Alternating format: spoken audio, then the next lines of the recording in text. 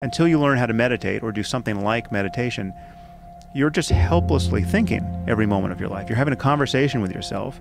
You're having content, whether it's imagistic or linguistic, pour forth into consciousness every moment and so incessantly that you don't even notice it. It's just white noise.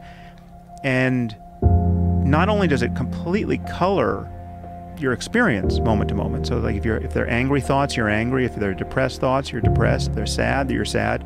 So you become your thoughts, but you also feel you feel you feel identified. You feel that you are the thinker of your thoughts. So what you are subjectively is a, this prior condition of just awareness in which everything is showing up, sounds, sensations, and thoughts.